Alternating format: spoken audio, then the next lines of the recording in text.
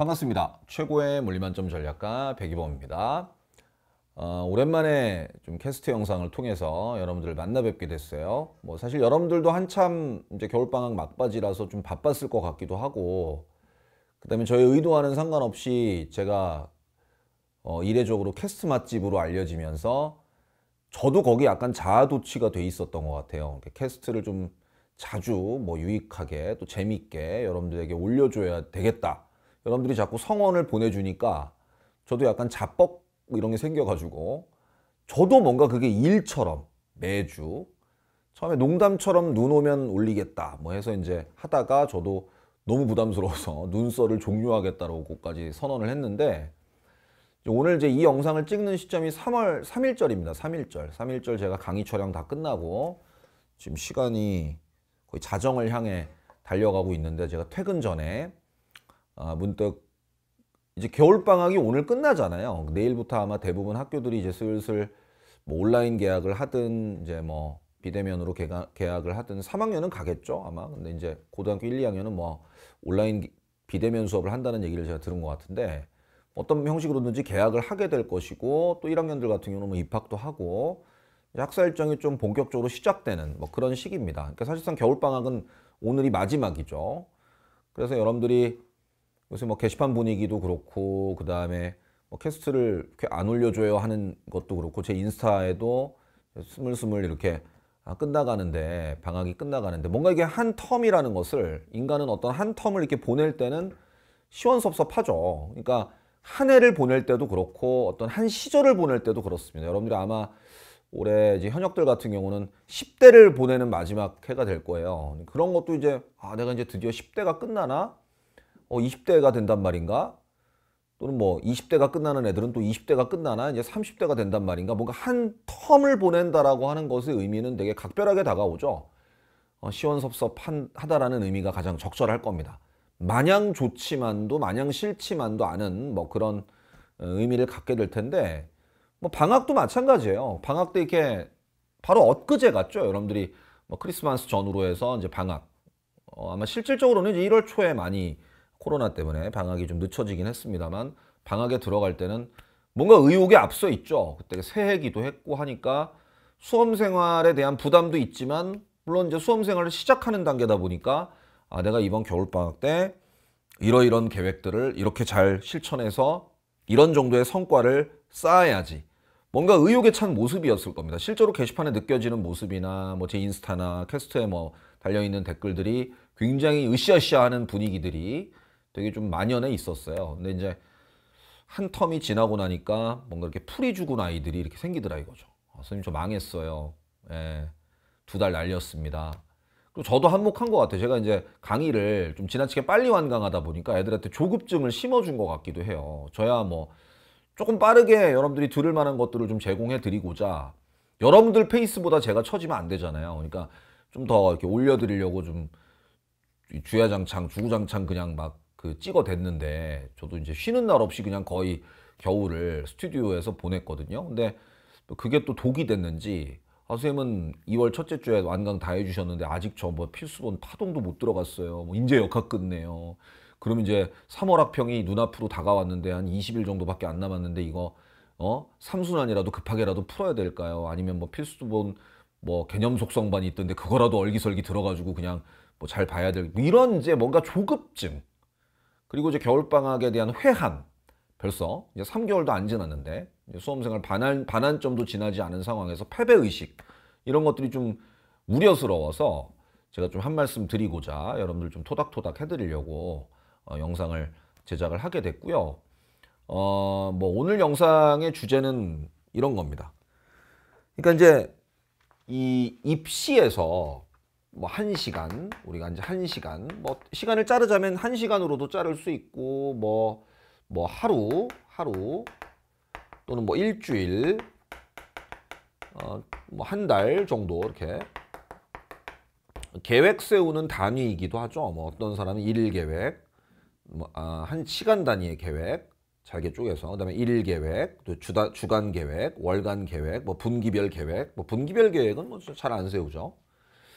이렇게 이제 계획을 세워서 실천한다라고 했을 때 우리가 놓치고 있는 게 하나 있습니다. 뭐 제가 여러분들을 뭐 무조건 위로하기 위해 얘기를 만든 게 아니라 실제로 제가 여러분들에게 나중에도 또 해드릴 얘기이기도 해요. 파이널쯤 가면 제가 이런 얘기 많이 합니다. 어, 특히 이제 6월 모평 때 이 얘기를 반드시 하게 돼 있는데 무슨 얘기냐면 보통 어, 전반부와 후반부 입시의 어떤 수험 생활의 전반부와 후반부를 가르는 가장 중요한 어, 이벤트, 행사, 계기 이게 바로 보면 6평일 거거든요.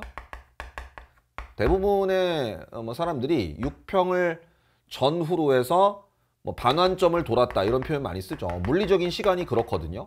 얼추 그냥 단순 계산해 보더라도 뭐 11월 한 중순, 초중순에 에, 수능이 있으니까 우리 보통 한 1월부터 한 6월까지를 한 텀으로 잡죠.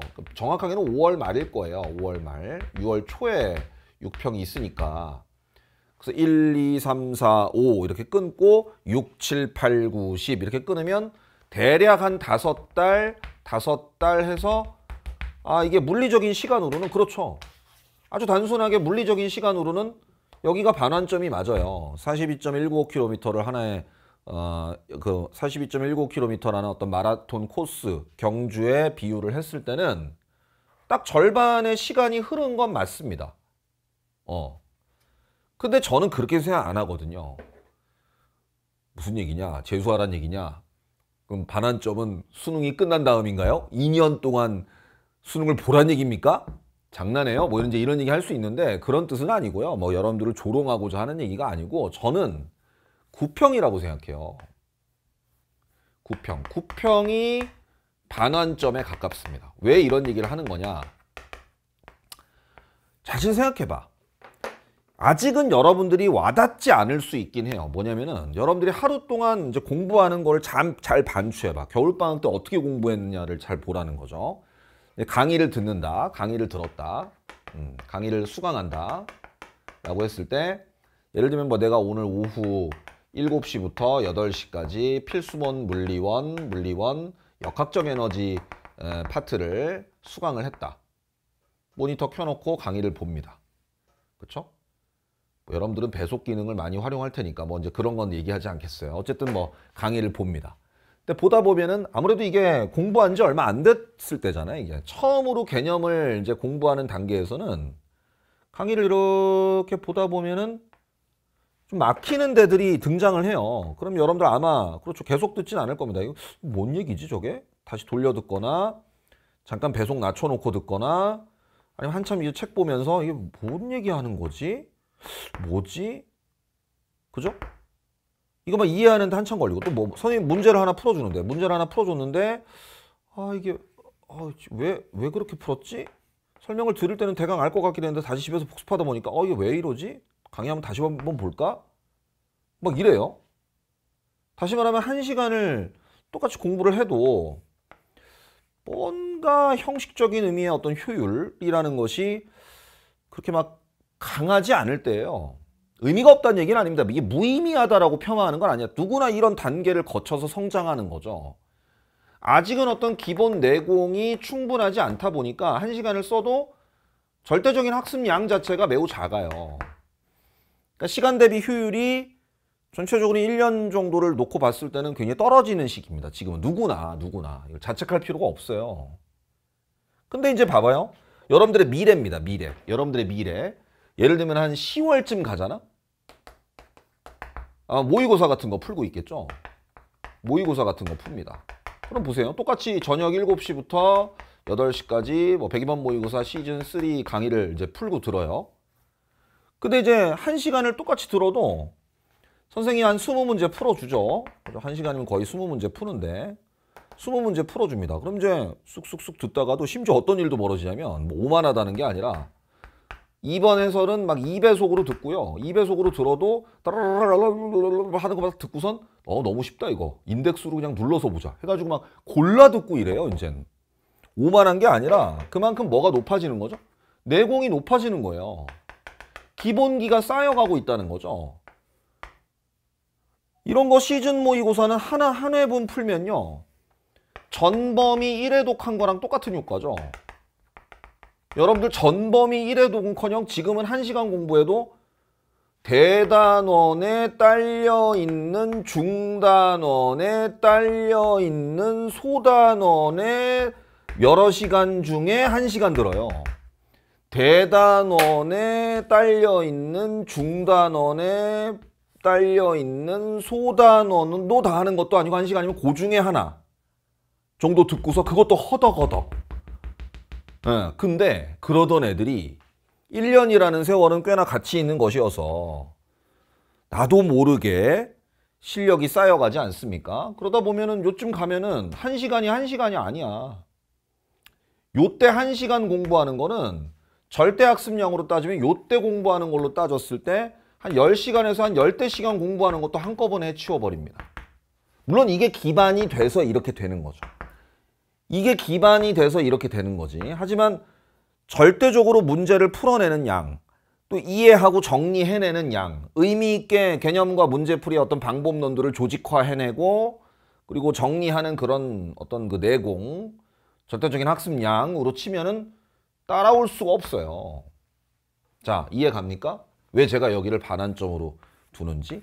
물리적으로는 이거 한 한 달 반 정도 남은 거고 이거는 한 여덟 달반 정도 흐른 건데 왜 이 비중을 한 6대 1, 7대 1 이 정도로 보는 거냐? 여기가 훨씬 학습 밀도가 높다라는 거죠. 기본 내공도 기본기도 워낙 높다라는 거고 여기는 그에 비해서는 평균적으로 밑작업을 하는 시기이기 때문에 두 달을 보내도 지금 여러분들 이 1월, 2월 두 달 보낸 거잖아요. 이걸 가지고 자괴감을 느낄 필요가 없다라는 게 여러분들 느낌은 물리적인 시간으로는 한 20% 정도가 흐른 느낌이겠지만 여러분들 안심시키려고 하는 게 아니라 아직 5%도 안 흘렀어요. 여러분들이 전체 해야 될 공부에 20분의 1도 하지 않은 겁니다. 여러분들이 보내야 될 물리적 절대적 시간에 20% 정도는 흐른 건 맞아요. 그건 뭐 부인할 수 없는 사실이죠. 하지만 여러분들이 전체적으로 1년간 수능 때까지 할 수 있는 공부량에 도달해야 될 목표에 어떤 가는 그 전진하는 단계에서 어떤 저런 객관적인 어떤 가중치들을 현실들을 고려했을 때는 여러분들은 아직은 이제 시작이에요. 포기하기엔 너무 이릅니다. 너무 성급한 거 아닙니까? 그죠? 아직은 좀 더 희망을 갖고 묵묵히 그죠? 네포텐이 터질 때까지 내공을 쌓아 가셔야죠. 그것이 수면화 될 때까지 내, 내 실력이 옆 사람까지 느껴질 수 있을 때까지 나도 느껴지고 옆 사람도 느껴지고 그 모두가 내 실력의 향상을 느낄 수 있는 그날까지 남들한테 보여주려고 공부하는 건 아니지만 드러나면 낭중지출하고 드러나게 돼 있죠. 아, 좀 부쩍 늘었는데 옆에 사람도 알 정도죠. 실력 늘면은 야, 저 물리의 물자도 모르던 게 이제 막 역학을 킬러 척척척척 풀고 있네. 그게 이제 그런 때가 되, 될 거라는 거예요. 그러니까 너무 지금 성급한 거 아닙니까? 실망하기에는 너무 이르죠. 아직은 5%도 안 지났다니까요. 요때 가면요. 내가 늘 얘기하는 게 있어요. 한 10월 한 중순 정상적으로 공부했다라면 10월 중순의 하루가 10월 중순의 하루가 학습량으로만 따지면 놀라지 마요. 1월 한 달과 맞먹을 수도 있어요. 1월 한 달간 안 먹을 수도 있다고 여기서 공부를 그렇게 할 수 있다고 절대 아닐 것 같죠? 똑같은 24시간인데 그게 어떻게 가능해요? 가능하죠. 실력 차가 너무 현저하기 때문에. 그때쯤 가면 이제 이런 얘기 나올걸요? 좀 거드럭거드럭거리면서. 아 어제의 나는 오늘의 나하고 참 다르네. 오늘의 나는 참 어제의 나와는 참 다르구나. 어제 오늘도 그럴진데? 응? 어제와 나의 어제와 오늘의 나도 그렇게 다를진데 열 달 전에 나와 열 달 후에 나는 얼마나 다르겠습니까? 그걸 상상해 보세요. 그러니까 물론 지금 이 시기를 폄하하는 건 아닙니다. 이런 시기들이 쌓였기 때문에 그런 여러분들이 미래에 여러분들의 미래가 보장이 되고 그런 어떤 또 뛰어난 실력을 가진 한참 막 성장한 여러분들이 여러분들을 기다리고 있을 거라는 거죠. 그러니까 그런 걸 좀 희망적으로 판단하면서 이제 봄 되잖아, 봄. 왜 우울해 합니까? 날 좋아지잖아. 오늘 좀 또 나 캐스 찍으면 꼭 이렇게 눈 오더라. 눈 오는데 눈썰 때문에 눈 때문에 하는 거 아니에요? 또 이제 오해해가지고 또 눈 또 뭐 어? 저 뭐죠? 꽃샘 추위 와서 또 갑자기 기습적으로 눈 내리면 또 또 눈 오니까 캐스 찍어주세요. 뭐 이런 이런 얘기 할까봐 내가 미뤄 그렇게 귀찮아서 얘기하는 건 아니고요. 어쨌든 간에 눈이 또 올해 좀 유 독 저하고 눈하고 이상하게 좀 그러네. 어쨌든 어, 내가 하고 싶은 얘기는 이제 내일이면은 이제 오늘 이제 뭐 끝났죠. 사실 뭐 이제 그 방학이 다 끝나갑니다만 좀 힘내라는 거예요. 힘내라는 거죠. 건강하게 별탈 없이 무탈하게 큰 슬럼프 없이 슬럼프가 보통 요쯤 와요. 그러니까 그것도 그것도 그러겠거니라고 숙명으로 받아들이는 자세가 중요하죠. 왜 슬럼프가 오지? 누구나 옵니다. 슬럼프 없이 어떻게 1년을 버텨요? 사람이라는 게, 어? 이 감정 사이클이라는 것도 하루에도야, 하루에도 요동칠 때가 있는데, 그죠? 감정의 진동 폭이 커질 때는 하루에도 막 극과 극을 오가갈 때가 있는데, 하물며 두 달이라는 시간, 적지 않은 시간을 살면서 그것도 그렇게 힘든 어린 여러분들의 입장에서는 이렇게 큰 시험대에 올려놓고서 어, 벼랑 끝 싸움을 하고 있는 거 아닙니까? 그럼 당연히 그런 힘든 시기에서 더더군다나 사회적으로도 되게 힘든 시기고 하니까 더 가중될 거란 말이에요. 여러 가지로 가중될 거란 말이죠. 풀 데가 없단 말이죠. 그러다 보면 이렇게 한 번씩 감정적인 어떤 그 고립감부터 시작해서 우울감 이런 것들이 찾아오죠. 패배감 이런 것도 찾아옵니다. 당연히. 당연히 찾아오지만 이런 생각을 했으면 좋겠어요. 아, 그렇지. 우울하다. 잘못한 것 같다. 진 것 같다가 아니라, 아, 내가 오히려 굉장히 열심히 했구나. 그죠? 여러분들이 현타라는 말을 많이 쓰잖아요. 열심히 한 끝에 조금 지쳤겠죠. 여러분들이 지쳤을 겁니다. 정신적으로도 또는 시간적으로도 그럴 때가 됐어요. 그리고 조금 날씨 따뜻해지면 몸이 좀 풀립니다. 긴장했던 것도 풀리고. 그럼 이제 같이 좀 풀어지거든요. 근데 그럴 때는 전 그런 얘기도 하고 싶어요. 하루 정도 쉬셔도 괜찮습니다. 하루 정도는요. 하루 정도는 본인에게 좀 마음의 양식이 될 만한 또는 몸의 휴식이 될 만한 어떤 재충전의 시간을 갖는 것도 전 장기 레이스에선 필요하다고 생각해요. 그럼 뭐, 아, 근데 요새는 좀 이렇게 어디 가서 바람 쐬라고 하기는 참 너무 위험하니까, 음, 꽃 구경이라도 하라고 하기도 좀 미안하고 뭐 어디 가기 가라서 가서 친구들이랑 어디 극장 가서 영화라도 한 편 보고 와라 뭐 이러기도 참 미안하고 그게 참 어른으로서 답답한데 여러분들에게 뭔가 조언해 드릴 만한 게 별로 없어가지고 이럴 때 어떻게 해야 됩니까? 그럼 저도 잘 모르겠더라고요. 저도 저도 지금 휴식 없이 달려오다 보니까 어떻게 쉬어야 될지도 잘 모르겠어요. 그러니까 관성대로 그냥 가면서 어떻게 해서든지 좀 잠자면서 잊어보려고 하고 뭐 먹으면서 잊어보려고 하고 스트레스 풀어보려고 하고 하는 거는 있는데 하여튼 재충전을 가져보는 것도 좋아요. 좀 푹 한번 잔다든지 막 맛있는 거 먹으면 스트레스 푼다든지 그런 것도 좋죠. 뭐 드라마 좋아하는 드라마나 영화 같은 거 한 편 집에서 보면서 스트레스 푼다든지 아니면 재밌는 소설책을 하나 읽으면서 책 읽는 게 참 좋긴 해요. 왜냐면 책을 읽으면 이게 그래도 뭔가 활자에서 눈을 떼지 않는 공부하는 수험생들 입장에선 되게 좋은 어, 습관상으로는 공부를 하고 있는 것과 같은 형식을 띠면서도 집중을 하게 되고 활자화된 것 뭔가를 읽게 되고 그 자체가 또 의미도 있고 그러면서도 마, 마음적으로는 휴식되잖아요. 좀 재밌는 책 같은 거 읽다 보면 그런 휴식을 갖는 것도 나쁘지는 않을 것 같다. 그래서 너무 자책하거나 힘들어하지 말고 힘들 때가 됐다. 요약하자면 힘들 때가 됐다.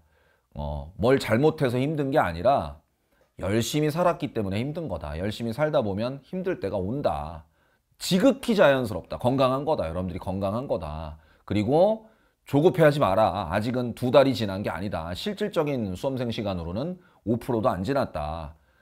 보름밖에 안 지났다라고 생각하시면 어떨까요? 실질적으로 그렇습니다. 여러분들 위아, 위로를 드리려고 하는 게 아니라 보름밖에 안 지났을지도 몰라요. 나중에 할 수 있는 것들을 생각해보면 물론 열심히 했을 때 얘기입니다. 열심히 했을 때 얘기고 그리고 너무 힘들거나 너무 집중 안 되면 하루 정도 쉬었다 가라.